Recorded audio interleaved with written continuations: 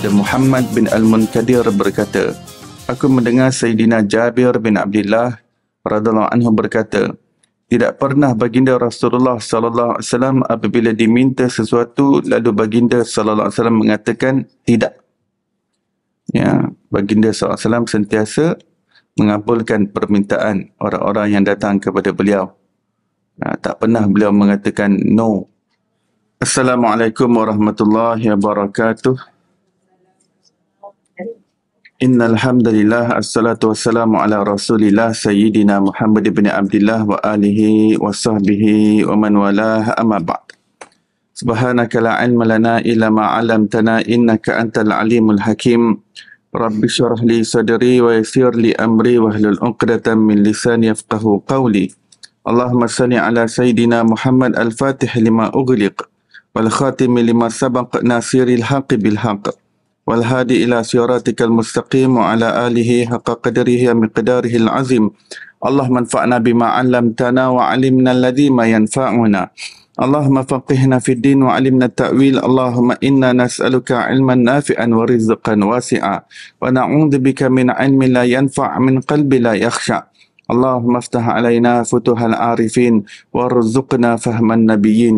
وحفظ المرسلين وإيمان المتقين أرحم الراحمين.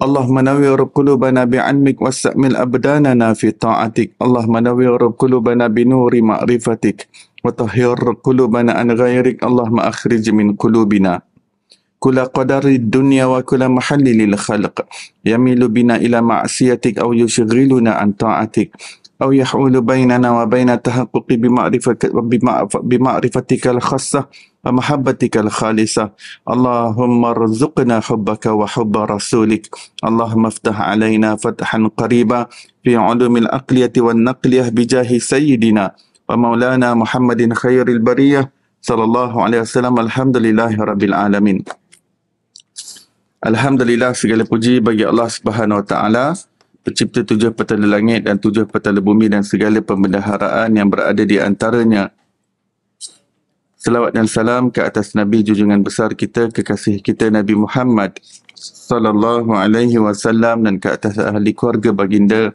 dan ke atas para sahabatnya dan ke atas mereka yang mengikuti jalan mereka yang terdahulu dengan cara yang terbaik sehingga hari kiamat. Alhamdulillah muslimin musliman yang dirahmati dan diberkati Allah SWT sekalian syukur kita pada pagi yang berbahagia ini dihimpunkan lagi dalam majlis ilmu untuk kita sama-sama menyambung pengajian kitab Syama'il Muhammadiyah karangan Imam Tirmizi rahimahullah. Mari kita bacakan ummul kitab dan hadiahkan kepada beliau. Dengan niat mudah-mudahan Allah kurniakan kita keberkatan ilmu dibukakan kefahaman zahir dan batin dan dicurahkan ke dalam dada kita seperti mana telah dilimpahkan ke dalam dada beliau wa ila hadratin nabiyil mustafa sallallahu alaihi wasallam al-fatihah a'udzu billahi minasyaitonir rajim bismillahirrahmanirrahim. Alhamdulillahi rabbil alamin. Arrahmanir rahim maliki yaumiddin. Iyyaka na'budu wa iyyaka nasta'in. Ihdinas siratal mustaqim صراط الذين أنعمت عليهم غير المغضوب عليهم ولا الضالين آمين Baik. Kita berada pada muka surat 280.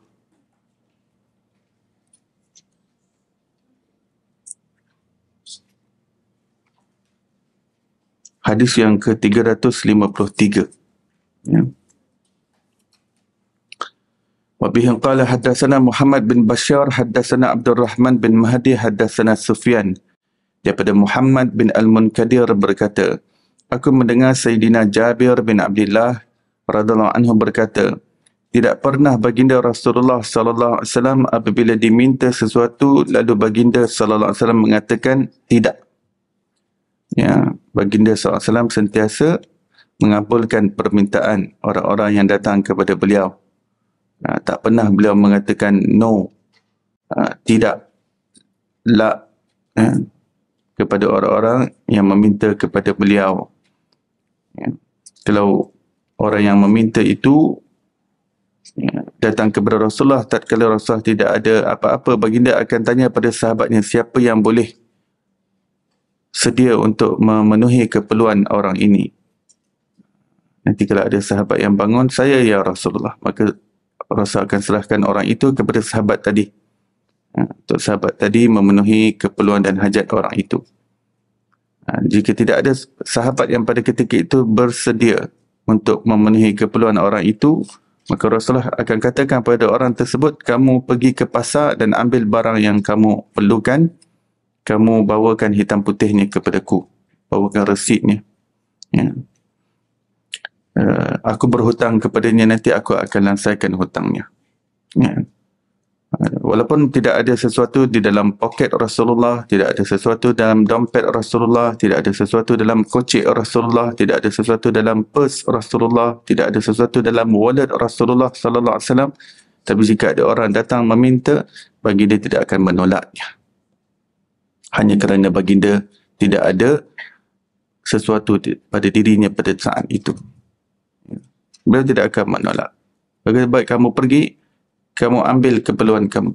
Apa yang kamu perlukan pada hajat kamu itu, dibawakan hitam putih. Biasa hitam putih ini akan beritahu dengan siapa dia ambil barang tersebut, ya, kedai mana, dan apakah barang-barangnya dan berapa jumlah ke, total keseluruhannya dan bila deadline. Ha, yang paling penting di situ ada deadline bila tarikh terakhir untuk membayar.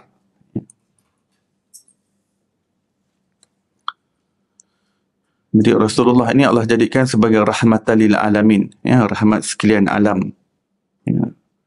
Allah Taala jadikan daripada sekalian makhluk baginda adalah yang paling sempurna sekali daripada segi kejadian, ya, daripada segi ya, penzahiran sifat-sifat, ya, sifat-sifat yang yang makhluk yang paling tinggi kedudukannya yang paling sempurna dalam nak menceritakan tentang sifat-sifat Allah Subhanahu taala adalah Nabi Muhammad sallallahu alaihi wasallam.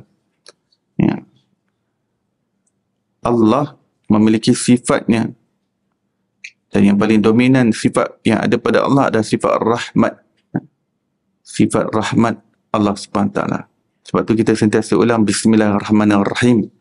Ya, Ar-Rahman dan Ar-Rahim kedua-dua nama daripada makna rahmat. Ya, daripada perkataan rahmat. Dan Allah telah jadikan daripada kalangan makhluk yang paling bersifat rahmat adalah Nabi Muhammad sallallahu alaihi wasallam. Lalu Allah menamakan baginda sebagai rahmatan lil alamin. Rahmat buat sekalian alam.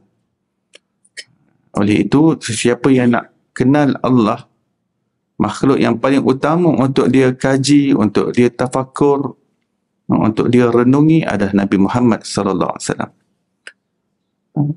Kerana pengenalan kepada Rasulullah sallallahu alaihi wasallam adalah pintu yang paling agung di dalam mengenali Allah Subhanahu taala. Sebenarnya memang alam ini semuanya adalah ada pintu perantara untuk kita kenal Allah Subhanahu taala.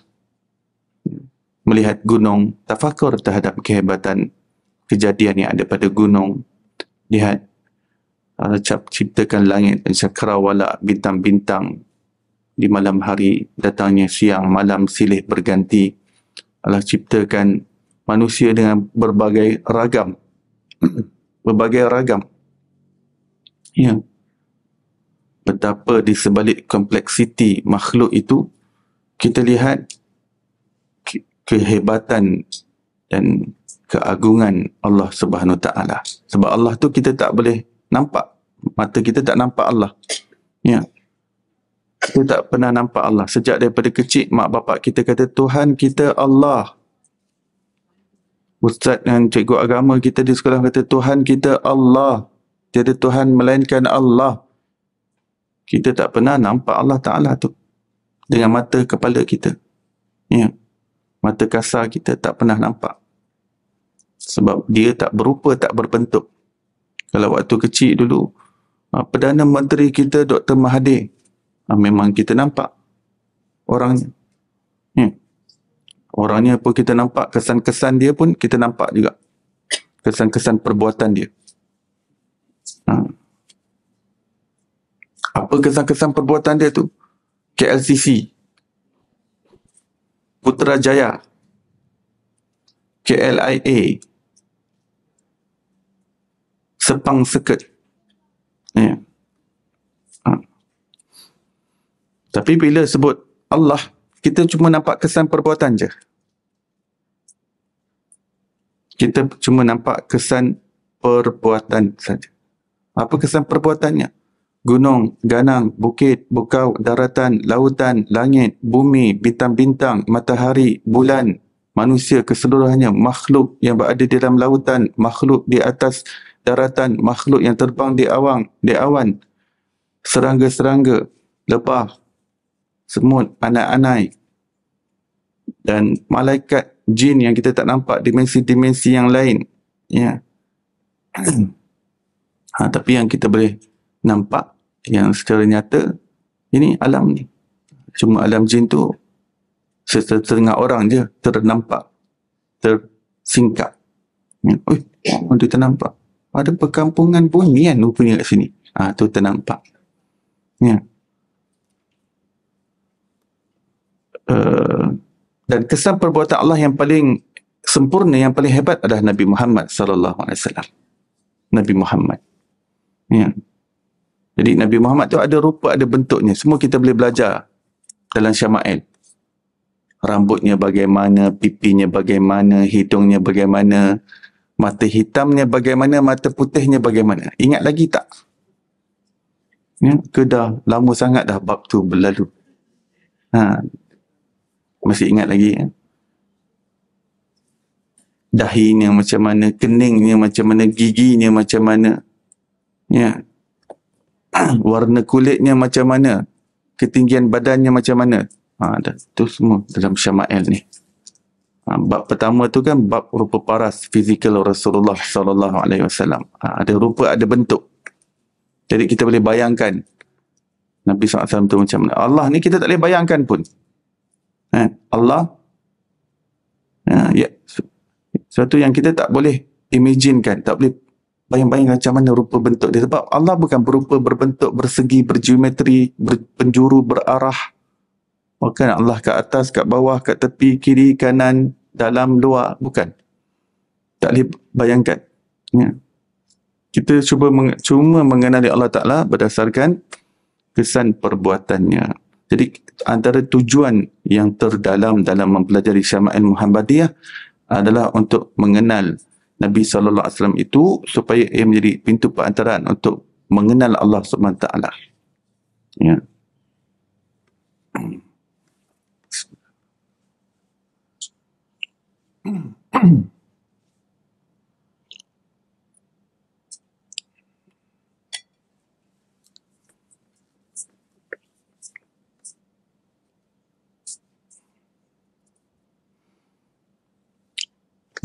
Kalau anak kita ke cucu kita tanya di mana Allah? Where is Allah? Ya. Maka kita jangan jawab dengan jawapan yang nanti dimakan diri kita balik. Ya. Ataupun memberi jawapan yang keliru yang boleh mencelarukan lagi fikiran anak-anak itu. Sebab dalam Al-Quran sendiri dah ajar dah. Kalau orang tanya mengenai Allah itulah jawapannya Ya, tak perlu nak nak saintifik. Kan? Allah Ta'ala berfirman, Wa idha sa'alaka ibadi anni Apabila hamba ku datang kepadamu, bertanya kepadamu mengenai aku. Ha, sebab ayat tu diturunkan sebab ada seorang sahabat jumpa Nabi SAW tanya tentang keberadaan Allah SWT. Ya. So the occasion is exactly like our kids ask, asked us about where is Allah subhanahu wa ta'ala. So we need answer. We need concrete answer. We need a good answer for our children. Yeah. Baik, Allah SWT sendiri yang ajar. Baik, dia dah tanya tentang keberadaan aku. This is the answer. Fa inni qarib. I am so close. Jangan datangkan jawapan yang bombastik. Allah ada ke atas langit. Bersemayam duduk atas singgah sananya on the throne. Nanti dia celaru pemikiran anak-anak nanti. Ya. Celaru tadi. Ya. Kemudian dia tanya, close, Allah is close, why we cannot see him?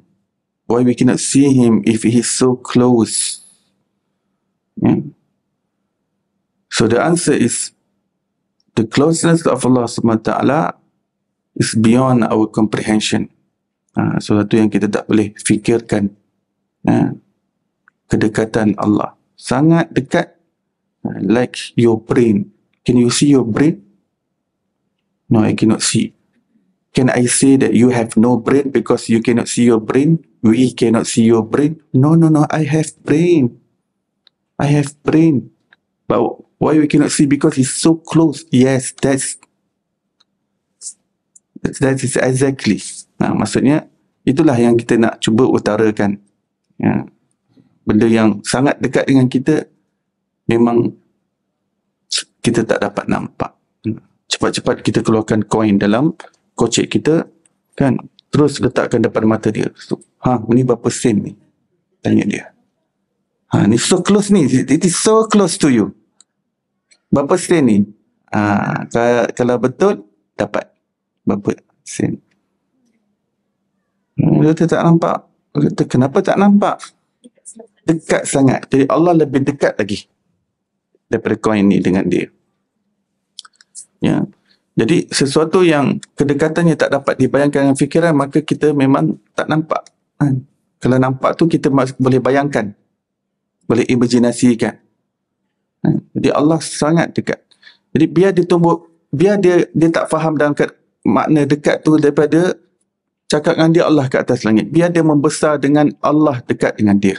Lebih baik untuk pertumbuhan spirituality dia daripada kita datangkan jawapan bombastik Allah dekat langit langit ketujuh if you become superman and then you fly non-stop you can see him nanti kita lebih keliru dia pun keliru juga ataupun kita tak cakap superman dia pula terfikir nanti oh I need to become superman man. Oh become becoming superman is so cool. I can see my Allah if I can fly non-stop. Uh, this is nonsense. Ataupun dia terfikir uh, Superman is so impossible. I want to create a rocket that can fly non-stop. Rocket ha, jangan datangkan jawapan-jawapan yang pelik-pelik macam ni. Yang Allah tak ajar pun dalam Quran. Allah ajar kalau orang tanya kamu tentang aku cakap pada dia aku maha dekat. Tak. Biar dia biar ada kehairanan dalam kedekatan Allah daripada kejauhan Allah SWT. Dia ada keheranan dalam kedekatan Allah daripada kejauhan Allah. Letak Allah berarah pula. Ada lokasi pula di atas ya. Sudah menyalahi akidah al-sunnah wal jemaah jawapan yang menyalahi akidah al-sunnah wal jemaah dia akan efek kerohanian seseorang. Ini kan lagi anak kecil yang sedang tumbuh membesar. Biar dia dalam keadaan perplex di dalam proximity of Allah Subhanahu wa taala. Uh, Maksudnya kehairan, biar di kehairanan di dalam kedekatan dan kehampiran Allah. Let our kids perplex in the proximity, in the nearness and closeness of Allah subhanahu wa ta'ala. Hmm.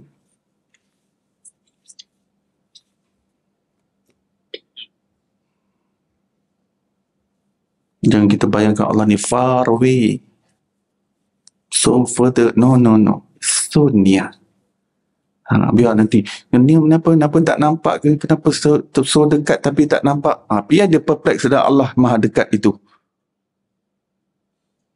jangan perplexkan dia. Jangan jangan jangan jadikan dia keheranan dalam Allah itu jauh. Allah tu somewhere else some, berlokasi bertempat berdirection ke atas. Itu lagi efek yang negatif pada rohani dia. Biar dia tumbuh rohani itu membesar biar dia sendiri yang yang fahamnya kedekatan Allah kedekatan Allah. Allah maha dekat Allah maha dekat. Allah sentiasa melihat dia Allah sentiasa mengawasi dia ya baik ya Rasulullah adalah rahmatan lil alamin yang orang bersifat rahmat tidak mengatakan Tidak kepada permintaan Allah Subhanahu Taala berfirman dalam Quran menceritakan tentang Allah Taala ud'uni astajib lakum. Mintalah kepada aku pasti aku kabulkan. Tidak ada perkataan no daripada Allah SWT ke atas setiap doa dan permintaan daripada hamba-hambanya. Tidak ada. Tidak ada satu doa pun yang tidak dikabulkan oleh Allah Subhanahu Taala. Tidak ada. Cuma kita perlu faham pengambulan daripada doa, pengambulan doa daripada Allah SWT datang dalam lima bentuk. Ha? Lima bentuk. Allah perkenankan doa manusia dalam lima cara. Ha, jadi hamba ha, Allah lah yang perlu tahu bagaimana cara pengambulan doa supaya dia tak bersangka buruk kepada Allah SWT. Ya. Pengambulan yang pertama adalah dia minta sesuatu terus dapat.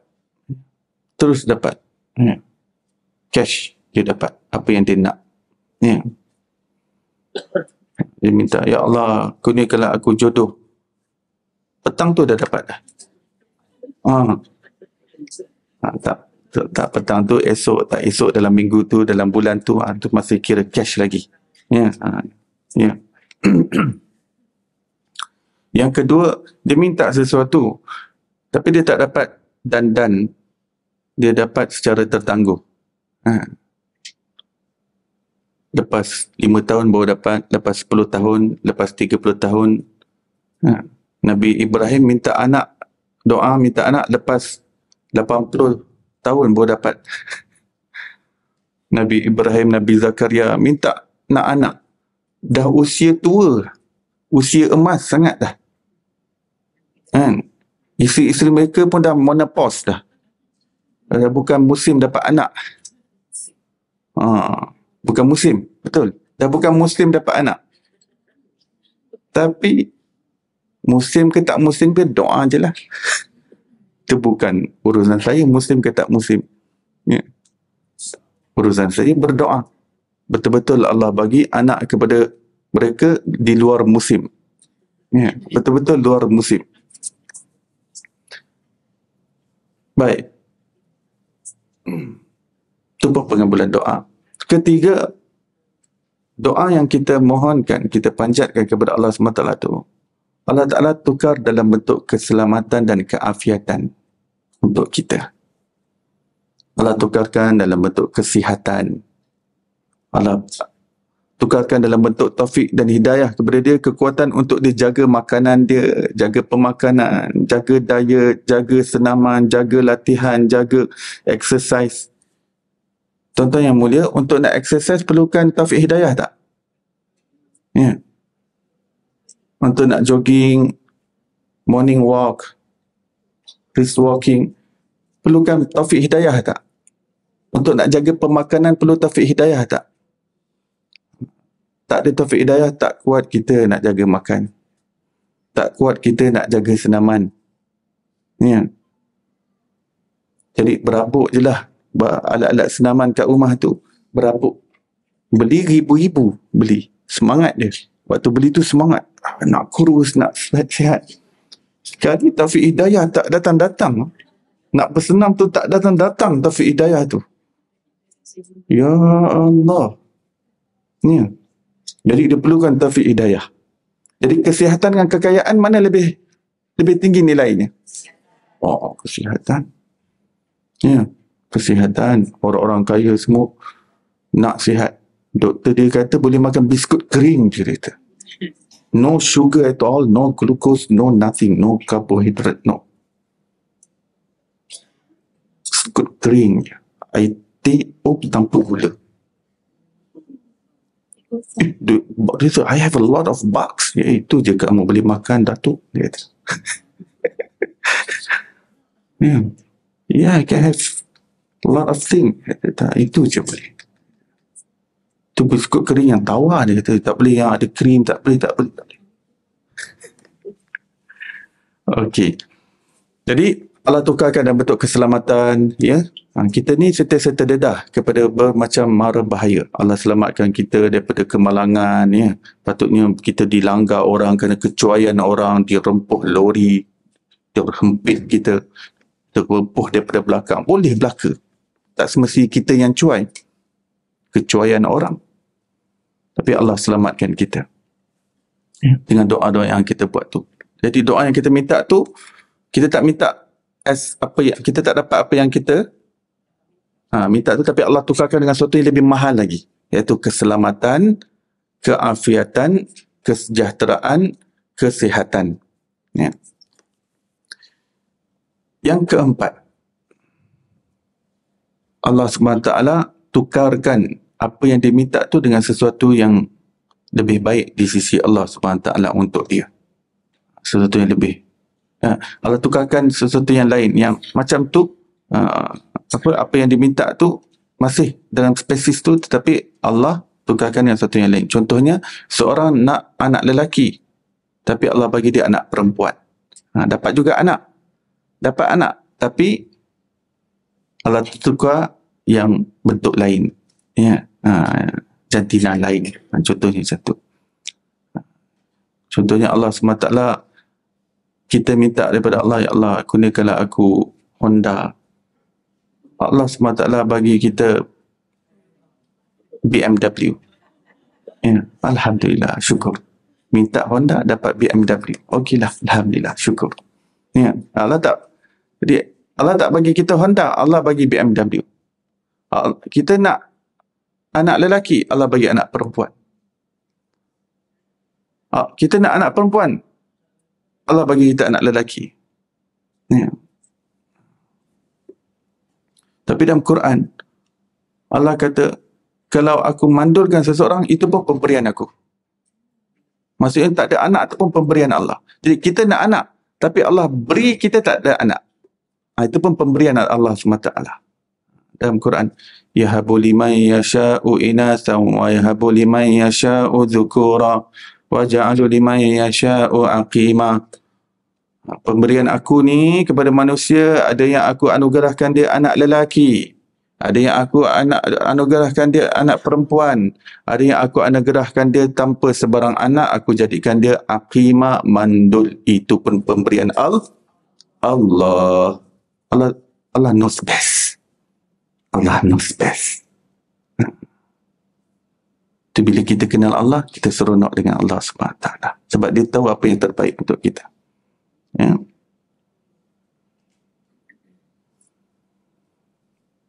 Dan yang kelima yang terhebat sekali. Cara pengabulan doa yang kelima, Rasul kata ini yang terhebat. Yang paling hebat sekali. Iaitu Allah Ta'ala kabul tak berikan apa yang dia doa tu dalam apa segala bentuk di dunia ti di dunia ini tapi Allah simpan dalam bentuk currency di hari akhirat. Kita ni semua nak pergi negeri akhirat kita perlu currency di sana. Jadi Allah simpan pahala-pahala ganjaran yang merupakan currency yang laku nanti kita nak guna ke akhirat. Jadi kita minta lah. Ha, ada permintaan-permintaan kita di dunia ni yang memang langsung tak dapat pun kat dunia ni. Tapi Allah simpan pahala-pahala doa. Sebab doa tu sendiri satu ibadah yang tinggi di sisi Allah. Dia jadi pahala yang disimpan dalam akaun bank akhirat kita yang akan dikonvertkan menjadi currency yang hebat di akhirat. Rasulullah SAW bersabda, seorang hamba Allah akan bangkit di hari akhirat, dia akan mendapati ganjaran pahala balasan yang Allah SWT simpankan untuk dia terhadap doa-doa dia yang tidak dikabulkan ketika di dunia. Tak kala dia melihat betapa hebatnya apa yang disimpan oleh Allah SWT di alam sana ketika itu dia mengingini alangkah baiknya kalau seluruh doa-doa dia ketika di dunia tidak langsung dikabulkan di dunia kerana segala yang didapati di dunia adalah bersifat fana, lenyap, binasa, segalanya ditinggalkan. Tapi apa yang disimpan di bank akhirat dalam bentuk currency yang laku di sana, dia nak guna buat selama-lamanya. Jadi yang berbentuk Allah simpan ke akhirat yang langsung tak bagi dunia, itu yang terbaik sekali. Ya. Kita di sini kan hasty kan, nak cepat. Nak doa, nak kabul kat sini juga. Macam paksa Allah pula. Macam kita lebih tahu pula bila yang terbaik untuk benda tu dapat. Jadi sebenarnya kita jangan uh, biadab dengan Allah. Allah tahu apa yang terbaik untuk kita, bila yang terbaik untuk kita, di mana yang terbaik untuk kita. dan bagaimana yang terbaik untuk kita. Maka biarkan Allah berikan kepada kita apa yang Allah kendaki, bila yang Allah kendaki, di mana yang Allah kendaki dan bagaimana yang Allah kendaki. Barulah hati kita tenang sebab kita serah kepada Allah yang dia tahu segala-galanya. Nah.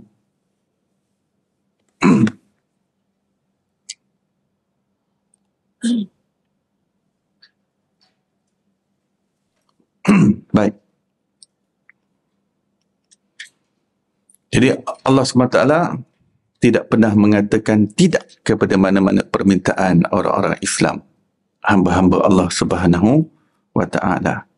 Ya. Apa yang berlaku di Gaza Palestin ini kita berdoa sebab kita nak ambil bahagian pahala. Sebab segalanya ini sudah pun disebutkan penghujungnya di mana oleh Rasulullah sallallahu alaihi wasallam.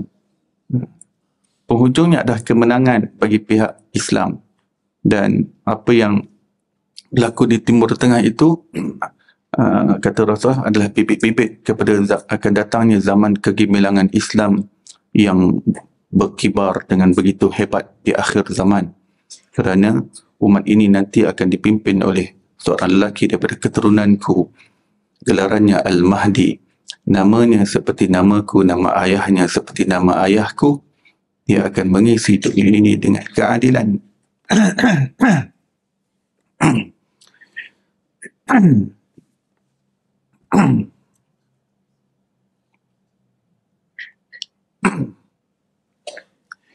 dia akan memenuhi bumi ini dengan keadilan seperti mana bumi sebelum itu dipenuhi dengan kedurjanaan dan kezaliman dia akan dibantu oleh putera kepada Siti Maryam yang akan turun di akhir zaman bernama Nabi Isa salam.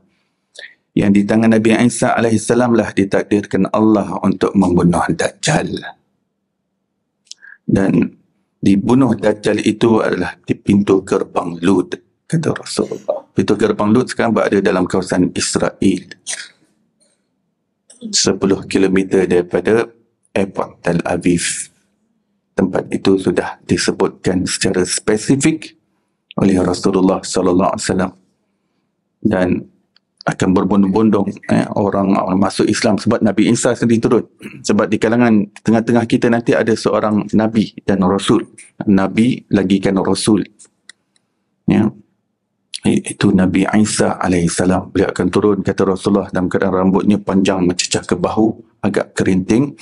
Beliau akan baju yang agak kekuningan dan juga datang dengan armor ya, dengan baju besi dan pedang.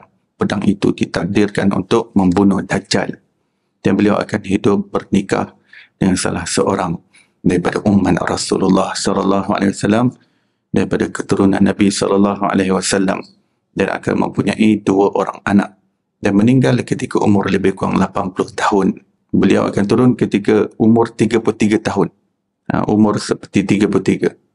Umurnya umur Nabi Isa yang hakikat sekarang sudah 2000 lebih. Ya. Uh, tapi seperti mana beliau diangkat ketika umur 33 dia, macam itulah 33 tahun dah beliau turun uh, umurnya. Ya.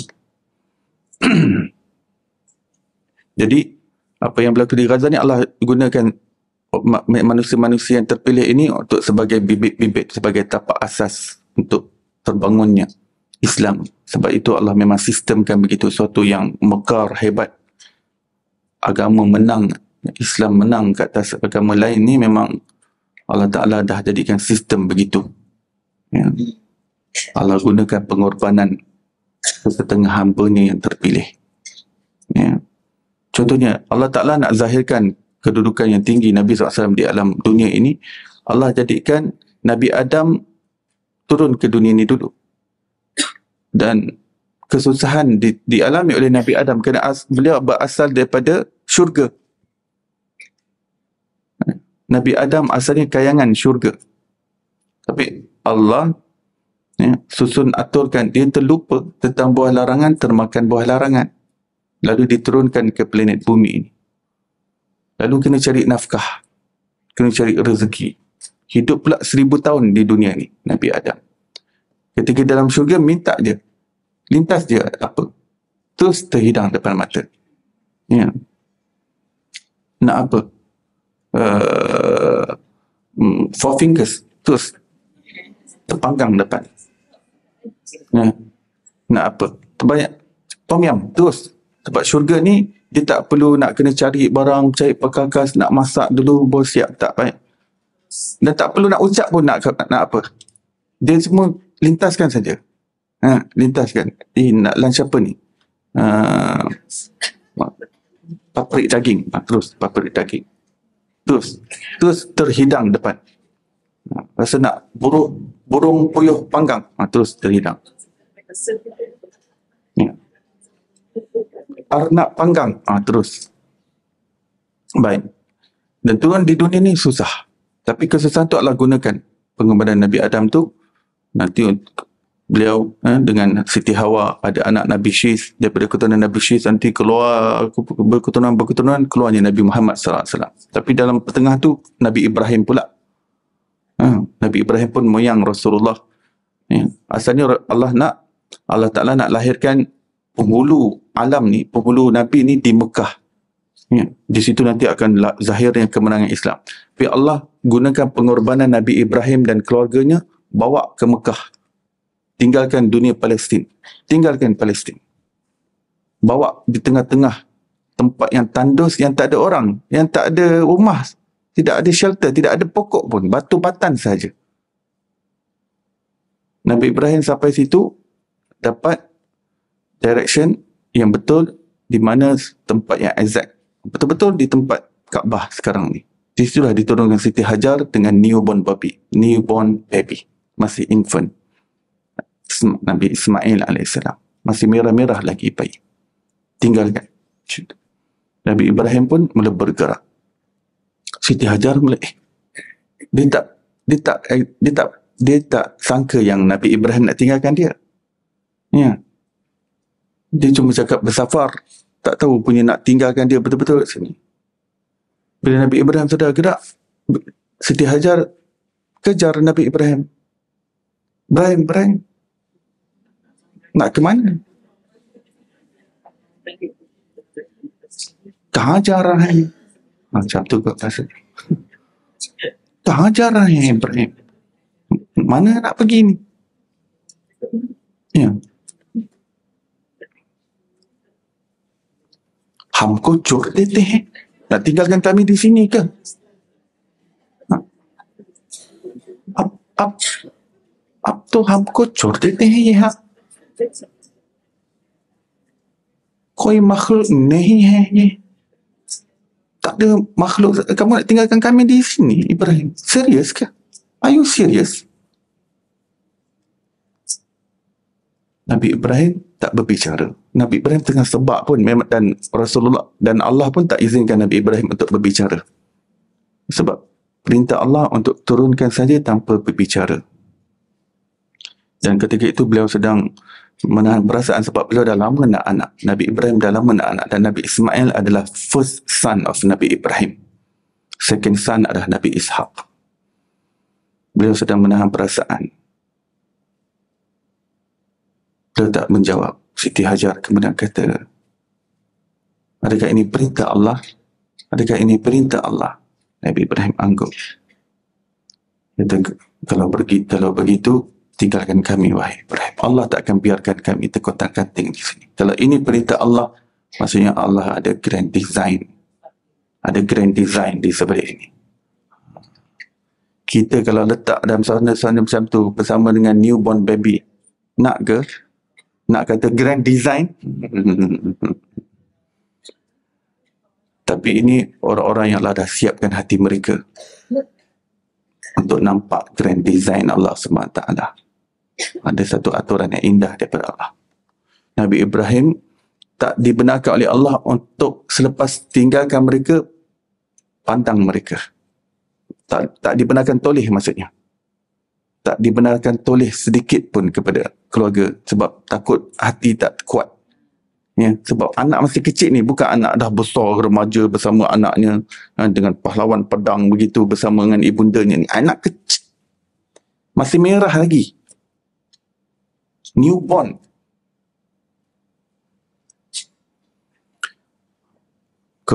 Nabi Ibrahim make sure yang dia dah melepasi gunung ganang bukit bukau yang dia dah dah sure kalau dia toleh memang tak nampak keluarga dia.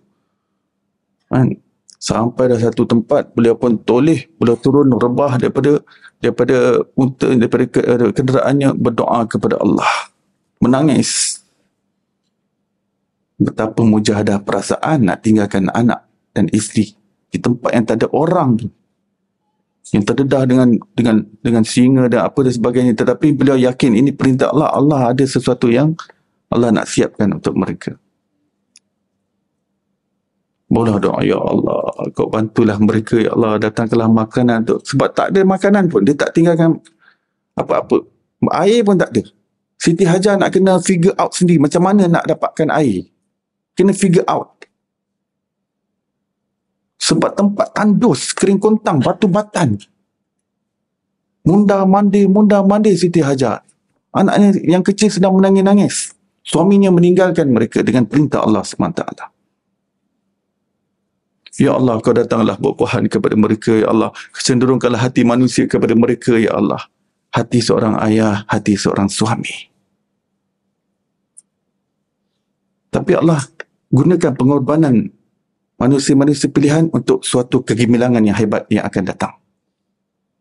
Sebab di Mekah ini Allah dah siapkan untuk di situ lahirnya penghulu kepada seluruh alam ini. Penghulu kepada langit dan bumi iaitu Nabi Muhammad sallallahu alaihi wasallam maka nak tak nak kena tinggalkan Palestin yang kota yang dah makmur, dah selesa, dah senang, hidup mudah, ha, duduk tengah-tengah kering kontang batu batan sebab Allah nak sediakan sesuatu yang hebat di situ. Lepas tujuh tahun barulah Nabi Ibrahim dibenarkan pulang untuk jenguk anak bininya. Jenguk yang ni literally jenguk. Untuk jenguk sahaja tanpa di, diizinkan Allah untuk turun daripada kenderaannya. Literally diizinkan untuk jenguk sahaja. Waktu tu Nabi Ismail sudah mula besar. Hmm. Kanak-kanak umur tujuh tahun. Nabi Ibrahim pun pulang. Suruh Siti Hajar berlari bawa Nabi Ismail. This is your daddy. This is your, this is your daddy. I told you, this is your daddy. Siti Nabi Ismail, oh, this is my daddy. Yes, this is your daddy.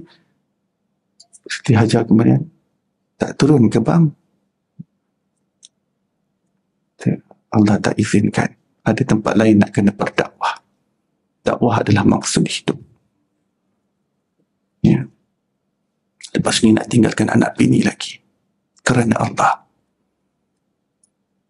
Eh, oh begitu kalau begitu tak apa. Cepat-cepat Siti Hajar bawa air. Izinkan saya basuh kaki. Silakan. Basuh kaki suaminya. Basuh kaki kedua. Ya. Dan Nabi Ibrahim tengok kedua-duanya sudah diizinkan untuk menjenguk berlayar lagi berkelana lagi ya.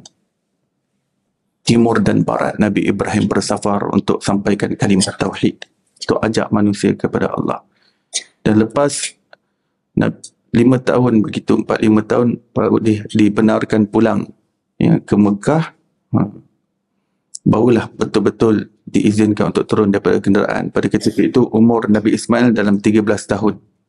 Ya. Ha, barulah kali ini baru betul-betul duduk bersama dengan keluarganya. Cuma Nabi Ibrahim ni lah orang yang hatinya lembut, kasih sayang. Sudah sayang pula pada anaknya. Ada soft spot. Ha, kan kan anak ayah kan ayah yang memang hati kebapaan kuat tu naluri kebapaan kan ada soft spot anak ibu kepada anak kan ada soft spot. Ya. Untuk Nabi Ibrahim yang merupakan Khalilullah, Khalil Allah, Allah tak izinkan soft spot sebegitu dalam hati seorang Khalil. Soft spot hati seorang Nabi yang seperti ini hanya kepada Allah SWT sahaja. Jangan kepada makhluk. Ya, kita menyayangi makhluk tapi jangan ada soft soft spot itu. Ya, untuk orang lain mungkin tak menjadi masalah tapi untuk hati Nabi-Nabi, hati wali-wali orang yang tinggi kedudukannya soft spot hanya kepada Allah. Hati yang yang semacam tu yang lembut ke dalam tu. Itu yang lupa hati tu pun semua kepada Allah SWT.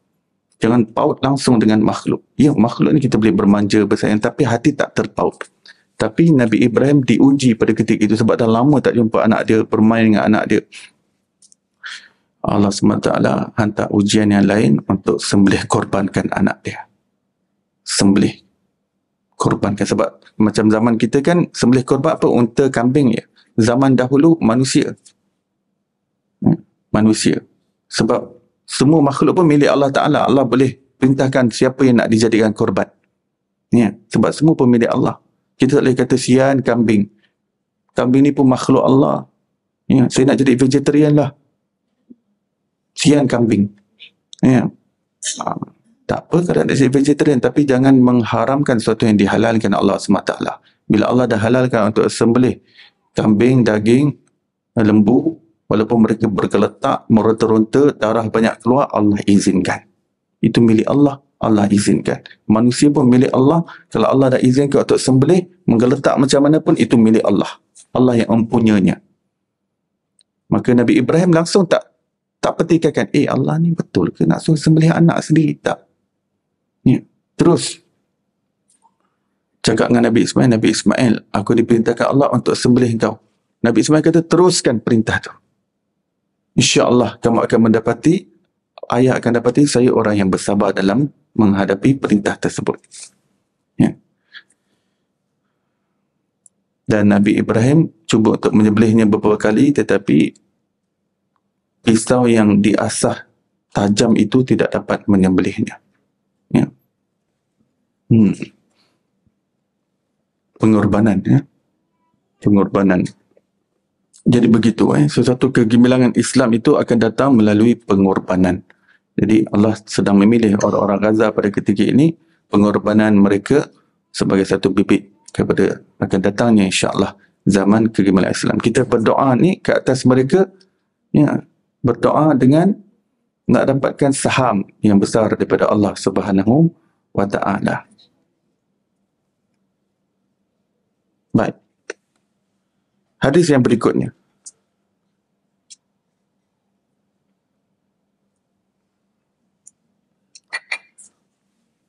Abi Hiqalah hadasana Abdullah bin Imran Abdul Qasim Al-Qurashi Al-Maki hadasana Ibrahim bin Sa'id daripada Ibnu Syihab daripada Ubaidillah daripada Ibnu Abbas radhiyallahu anhuma baginda Rasulullah sallallahu alaihi wasallam merupakan orang yang paling pemurah dalam kebaikan baginda sallallahu lebih pemurah lebih-lebih lagi apabila berada di dalam bulan Ramadan.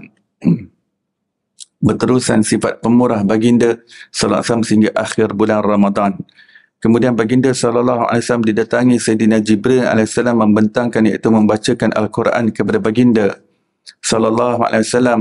Apabila Sayyidina Jibril salam telah menemui baginda sallallahu baginda Rasulullah sallallahu menjadi orang yang paling pemurah dan kebaikan melebihi daripada tiupan angin yang kencang. Ha, ini adalah sifat orang yang Allah jadikan rahmatan lil alamin ha, sebagai orang yang paling menceritakan tentang sifat Allah SWT. Supaya manusia lihat subhanallah. Rasulullah ada begini bagaimana Allah Ta'ala. Pasti lebih hebat lagi Allah Ta'ala. Ya. Jadi baginda Rasul ni orang yang sangat pemurah dan kebaikan. Allah maha pemurah. Hmm? Nak ceritakan yang Tuhan kepada kita ni semua. Allah Ta'ala itu maha pemurah. Baginda Sallallahu Alaihi Wasallam pemurah lebih-lebih lagi di dalam bulan Ramadan. Nah, jadi di, situ menceritakan tentang menceritakan tentang Allah SWT maha pemurah juga di dalam bulan Ramadan. Ya. Maha pengasih, maha penyayang. Kasih sayang Allah tu berganda pula. Hmm. Pada Tuhan yang sama, Allah. Ya. Tapi dalam bulan Ramadan, Masya Allah. Ya. Kenapa kadang-kadang kita bersedekah lebih dalam bulan Ramadan? Nak dapat ganjaran pahala lebih dalam bulan Ramadan. Sebab tak sama. Eh. Allah nak bagi apa yang apa yang ganjar balasan dalam bulan Ramadan tak sama seperti luar Ramadan. Ya. Dalam hadis sahih, setiap malam Allah bebaskan satu juta nyawa daripada api neraka. Pemurah ke tak pemurah ni dalam bulan Ramadan? Ya. Kenapa luar Ramadan tak bebaskan? Sebab Allah nak muliakan bulan Ramadan. Allah nak pilih bulan Ramadan untuk Allah nak bagi yang macam-macam istimewa untuk orang-orang Islam. Ya dengan puasanya, dengan lapar dahaganya, semua ibadah lain untuk diri dia kecuali puasa puasa untuk Allah Subhanahu taala. Setiap sedekah digandakan pahalanya, setiap amalan sunat dinaikkan kepada amalan fardu, setiap amalan fardu digandakan menjadi 70 amalan fardu. Pemurah tak pemurah ni Allah Ta'ala bulan Ramadan. Jadi Nabi SAW ni pintu untuk kita mengenal Allah SWT. Pintu perantaraan. Ya. Ha, antara, ya. Jadi Syama'il ni, kita belajar Syama'il ni supaya kita lebih mengenal hakikat Nabi SAW lalu dengan mengenal hakikat Nabi SAW menjadi pintu perantara untuk kita mengenal Allah SWT. Nanti kalau kita belajar syafaat Rasulullah di akhirat begitu hebat dahsyatnya syafaat Rasulullah ni sebab baginda orang yang paling sibuk sekali di hari akhirat sebab nak selamatkan manusia daripada api neraka. Bayangkan kalau ada syafaat Rasulullah begitu bagaimana rahmat Allah lagi. Lebih hebat lagi. Sebenarnya syafaat Rasulullah itu pun sebenarnya termasuk dalam rahmat Allah. Sebab Allah yang gerakkan Nabi SAW nak bagi syafaat pada sesiapa. Sebenarnya itu pun rahmat Allah. Tapi dalam bentuk Nabi SAW bagi syafaat. Ha. Tapi selain daripada syafaat ada lagi rahmat Allah yang khusus yang sudah tentu lebih hebat daripada syafaat Nabi wasallam. Ya. ya. itu kita dapat faham kalau kita baca buku-buku yang berkaitan dengan hari kiamat di hari akhirat kelak dahsyat. Alasan yang remeh temeh pun Allah Taala nak bebaskan orang daripada api neraka. Ya. Yang remeh temeh. Ya. Oh, kau ingat orang tu lebih pemurah, aku lebih pemurah. Aku masukkan kamu semua dalam syurga ku. Ya. Banyaklah kisah-kisah macam tu. Ha. Ada orang ni, dia sedekahkan pahala dia. Sebab dia tak ada pahala kebajikan lain. Dia semua kejahatan. Dia ada satu kebaikannya. Jadi dia sedekahkan pahala tu pada ada orang yang sedang perlukan sebab dia punya kebaikan dan kejahatan sama di neraca mizan. Ya. Dia perlukan satu je kebaikan untuk berat kebaikan dia. Jadi orang ni bagi sanggup bagi. Ya Allah Ta'ala kata daripada mana kamu dapat ni? Ada satu orang dia kata dia tak ada kebaikan lain, dia ada satu ni pun tak ada, dia kata tak dapat manfaat apa-apa sebab kejahatan dia yang lain banyak. Dia bagi aku satu. Kau panggil dia ke sini. Adakah kamu menyangka kamu lebih mengasihani dia? Aku lebih mengasihani. Sekarang dua-duanya aku ampunkan dua-dua wahai malaikatku pimpin mereka masuk dalam syurga aku. Banyak lagi alasan ada. Sebenarnya amalan amalan ganjaran pahala amalan dikira ketika manusia buat amalan tu di, di dunia. Ya, ke akhirat dah tak boleh. Bukan tempat amalan. Ha, tapi ada setengah manusia di hari akhirat yang amalan baik dia buat ketika di akhirat tu yang dia pun tak expect dia dapat balasan. Ha, tetapi tetap Allah SWT mengasihani dia. Ya terhadap apa kebaikan yang dia buat di akhirat. Macam tadilah. Ya. Dia sedekahkan pahala kebajikan dia. Dia tak expect yang dia pun terlepas daripada api neraka. Sebab dia nampak diri dia tak lepas daripada api neraka. Kata, bagi sedekah. Tapi sedekah pahala dia tu menyebabkan dia terlepas daripada api neraka. Ya. Hmm. Ada satu orang anak ni. Dia dihisap dan diputuskan masuk dalam api neraka kemudian dia dapat tahu yang bapa dia dah lebih awal dicampak dalam api neraka dan dia punya kesalahan ni pun yang besar ni masuk dalam api neraka sebab dia derhaka kepada kedua ibu bapa dia. Ya. Walaupun bapa dia pun jenis jahat tapi bapa yang jahat anak tak boleh derhaka. Ya. Derhaka. Tak boleh kurang hajar tak boleh biadab dengan ayah walaupun ayah pemaksiat dan sebagainya.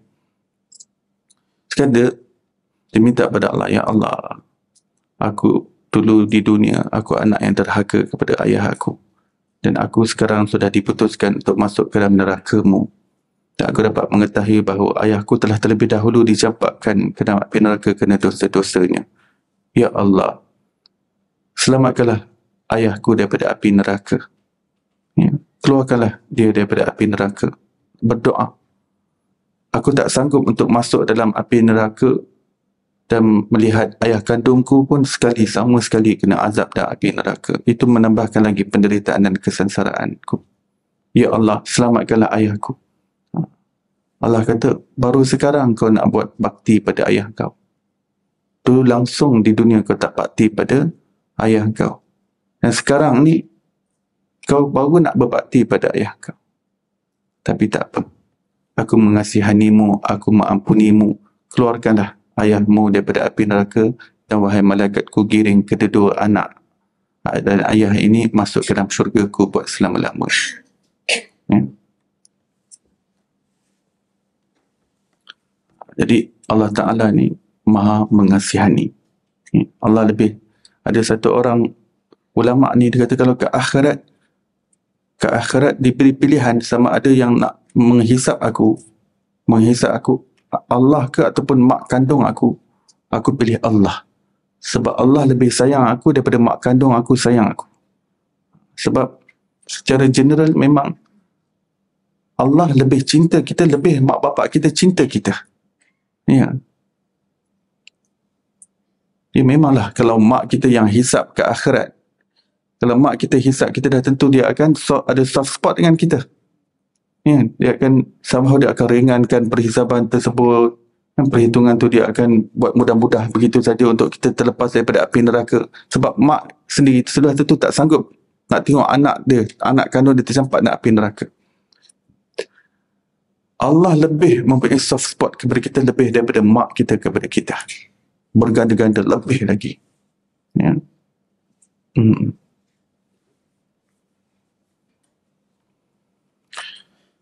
Baik, hadis yang berikutnya bihiqalah hadasana Qutaibah bin Sa'id hadasana Ja'far bin Sulaiman daripada Sabit daripada Sayyidina Anas bin Malik radhiyallahu anhu berkata baginda Nabi SAW tidak pernah menyimpan sesuatu makanan untuk esok. Maksudnya Nabi SAW tak pernah simpan ya, untuk baginda sendiri, untuk diri baginda, baginda tak pernah simpan untuk untuk esok. Ya baginda. Tapi isteri baginda adalah simpan. Ya. Ada simpan untuk esok ada, untuk lusa pun ada. Ya. Ha, tapi untuk diri Nabi SAW, kalau benda tu sampai pada Rasulullah, Rasulullah akan habiskan semua. Baik itu ada makanan ke ataupun harta. Ya. Sebab tu untuk isi-isi Rasulullah ni, Rasulullah bagi semuanya untuk perbelanjaan setahun penuh. Ya. Bagi, bagi, baginda bagi selepuk terus bagi dia tak uh, bulan ni ha, ni bulan depan ha, ni bulan. Tak. Bagi selepuk untuk setahun penuh. Ha, dah jangan minta-minta lagi. Ya. Sebab nanti sepanjang tahun ni apa yang datang pada Rasulullah Rasulullah tak akan tidur malam melainkan bagi dia akan habiskan semua sekali. Semua sekali. Ha, itu Nabi SAW ya. pernah suatu ketika lepas isyak lepas solat isyak Rasulullah kata Allah Akbar kita lupa ada ada emas di bawah bantal. Ada lagi harta dinar ke dirham begitu dinar di bawah bantalnya. Patutnya dia kata siang tadi patutnya beliau nak pereskan. Beliau nak pereskan. Ya, tapi sibuk dengan banyak urusan terlupa tentang harta tersebut. Beliau panggil bila wahai Bilal, kamu pergi ke rumah aku, ha, tanyakan pada isteri aku untuk ambil harta di bawah bantal ada beberapa dinar yang agih-agihkan kerana aku tidak akan tidur malam ini jika masih ada harta yang tersisa pada aku. Ya, aku tak mau tidur dalam keadaan masih ada harta yang terbaki pada aku. Maka Sayyidina Bilal pun minta izin daripada isterinya untuk diambil. Malam tu juga cari cari orang miskin. Malam tu juga Sayyidina Bilal agih-agih. Dah agih-agih malam hari masih ada terbaki sikit. Lepas tu Sayyidina Bilal jumpa Rasulullah. Ya Rasulullah, saya sudah agihkan tapi masih tersisa. Wahai Bilal, kalau masih tersisa, aku takkan balik rumah aku pun. Aku aku akan tidur saja di masjid. Sayyidina Bilal pun berhempas pula. Cari lagi malam tu juga. Habiskan juga terakhir malam tu. Akhirnya dapat habiskan malam tu kutuk-kutuk pintu. Assalamualaikum. Sampailah. Dah habis semua bagi tahu pada Rasulullah. Boleh Rasulullah tenang masuk dalam rumah dia tidur. Hadis yang berikutnya bihi qala haddatsana Harun bin Musa bin Abi Alqamah Al-Madini. Haddatsani ayahku daripada Hisham bin Sa'ad daripada Zaid bin Aslam daripada ayahnya daripada Sayyidina Umar Al-Khattab radhiyallahu anhu. Seorang lelaki datang kepada baginda Nabi Muhammad sallallahu alaihi wasallam meminta baginda memberinya sesuatu. Baginda Nabi SAW bersabda, aku tidak mempunyai sesuatu tetapi belilah secara hutang atas namaku Apabila datang kepada ke sesuatu, aku akan lansaikan hutang tersebut.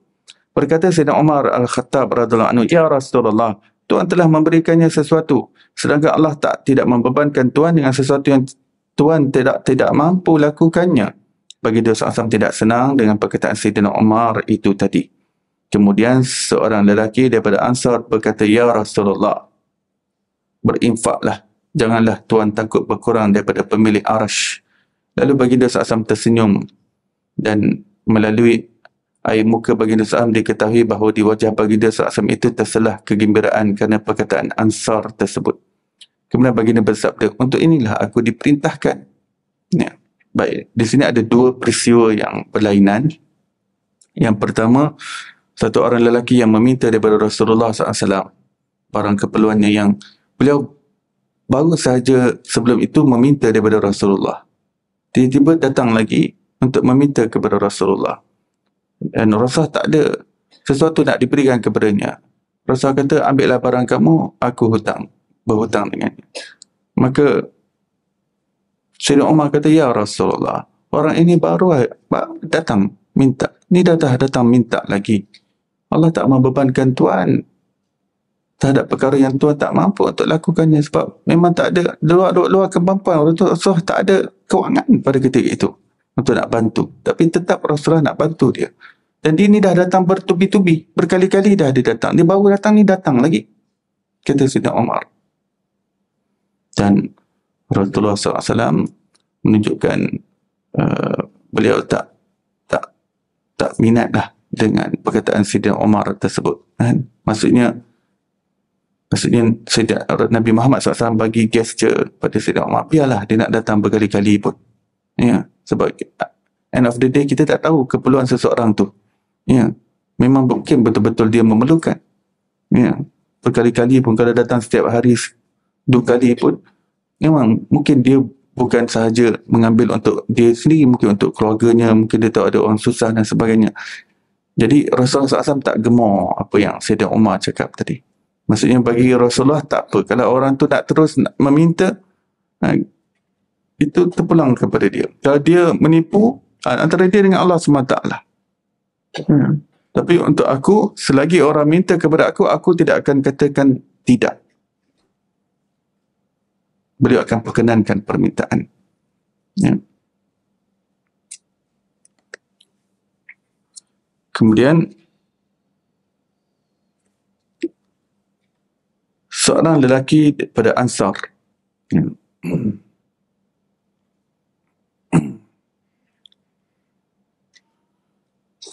Ini cerita lain pula ya. Seorang lelaki daripada Ansar. Ya Rasulullah berinfaklah. Janganlah Tuhan takut berkurang daripada pemilik arsh. Ha, biasanya perkataan seperti ini biasanya diucapkan diucapkan sama ada daripada Arab Badui Arab Badui ataupun daripada munafik. Ha, sebab orang Ansar ni, orang Ansar adalah orang-orang Madinah. Yang tinggal di kota Madinah ni, ada daripada kalangan mereka munafik yang munafik ni maksudnya mereka ni pura-pura masuk Islam sebab mereka nak privilege daripada Islam ha, privilege zakat ke rampasan perang diagih-agihkan dibahagikan ha, adalah privilege untuk jadi Muslim tinggal di dalam kota Muslim untuk jadi Muslim ada privilege jadi ada beberapa orang yang tak nak pun masuk Islam tapi nak dapat privilege tersebut pura-pura masuk Islam ha, semuanya jemaah dengan Nabi ucap syahadah masuk dalam majlis ilmu Nabi Ha, ini zaman Nabi memang beberapa orang memang seperti itu. Ha, beratus tak silap saya jumlah mereka ni. Ya. ya. Ataupun memang sebenarnya mungkin sahabat sahabat Nabi yang betul. Ha? Cuma mungkin kurang halus. Ya. Ha. Cuma saya nak kata kebiasaannya perkataan yang keluar ni ya Rasulullah berinfaklah dan jangan takut berkurang kepada pemilik arash. Ini biasa sahabat-sahabat Nabi tak akan berani untuk nak cakap seperti ini. Tapi jika diandaikan ini adalah betul-betul sahabat, uh, maka sahabat ini mungkin yang jenis kurang halus lah. Kurang halus. Hmm. Maksudnya dia nak kata pada Rasulullah, Ya Rasulullah, infaklah. Maksudnya dia perlukan sesuatu, infak kepada saya dan Tuan jangan takut miskin. ya. Jangan takut miskin, jangan takut jatuh bankrupt. Jangan. Jangan takut berkurang rezeki daripada Allah Ta'ala yang merupakan pemilik arash. Baginda SAW tersenyum. Allah, ini akhlak. Ini akhlak Nabi SAW. Tersenyum dengan perkataan tersebut. Ya, kalau orang yang panas baran, eh kau ingat aku siapa? Ya. Bukan selama ni memang aku banyak infak ke? Couldn't you see? Can't you see? All this while? Kan aku yang paling banyak infak sekali.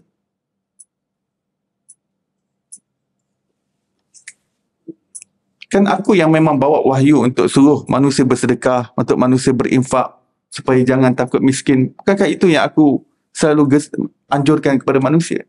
Tiba-tiba kau datang nak nasihatkan aku ya. ya berinfaklah jangan takut miskin. Ya. jangan takut berkurang.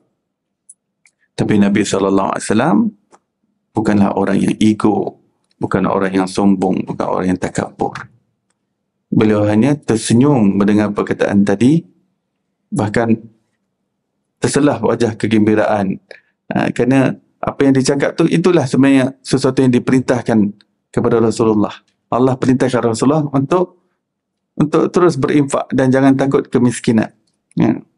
tapi ialah untuk untuk lelaki tadi bercakap dengan Rasulullah seperti itu uh, tak kenalah sebab memang Rasulullah orang yang paling pemurah Siapa tak kenal Rasulullah sallallahu alaihi wasallam?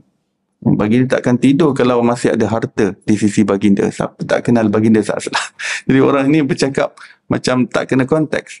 Ha, tapi Nabi SAW tetap melayaninya. Ha, di situ yang kita nak nampak akhlak Rasulullah.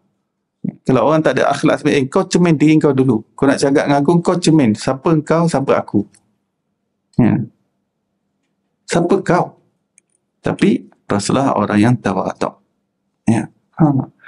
Layan baik senyum, ha, itu, memang itu pun Allah perintahkan aku untuk buat. Ha. Memang Allah perintahkan aku supaya terus berinfak dan jangan takut miskin. Itulah perintah Allah pada aku. Ha.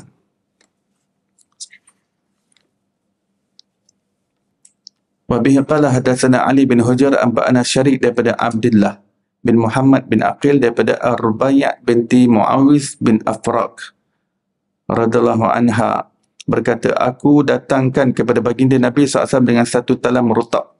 Rutab dan sedikit zurub. Zurub ni seperti uh, buah-buahan lah sejenis buah-buahan di dunia Arab. Rutab ni uh, kurma kurma yang separuh masak. Uh, sebab Rasulullah pun suka makan kurma yang masih macam mentah tu. Rutab. Kemudian baginda SAW memberiku sepenuh telapak tangannya perhiasan dan emas. Uh, dia betul-betul datang langkah kanan betul. Sebab waktu beliau bawa makanan tu ketika itu jumlah harta yang paling banyak sekali pernah datang ha, daripada sesebuah negara iaitu Bahrain. Itulah jumlah yang paling banyak sekali dalam bentuk rampasan perang ataupun ghanimah yang datang kepada Rasulullah sallallahu alaihi wasallam. Ya. Paling banyak sekali. Dan Rasulullah ha, harta itu sampai ke kota Madinah waktu malam. Rasulullah suruh longgokkan dulu tepi bucu dalam Masjid Nabawi. Esok lepas subuh, Rasulullah nak bagi-bahagikan. Hmm. Sampai tengah hari dah habis semuanya. Rasulullah bagi-bahagikan kepada fakir miskin. Hmm. Dan antara yang yang yang layak terima tu adalah ni keluarga Rubaiyah binti Muawiz ni. Dia datang hidangkan bawa hidangan buah-buahan. Hmm depan Rasulullah nak kasih makan. Rasul kata, ah, kamu tadah tangan kamu. Bagi dia ambil satu cukup emas itu. Letak atas tangan dia. Ah, ini untuk keluarga kamu. Ah, langkah kanan betul. Datang bawa bawa-bawahan, balik bawa emas permata.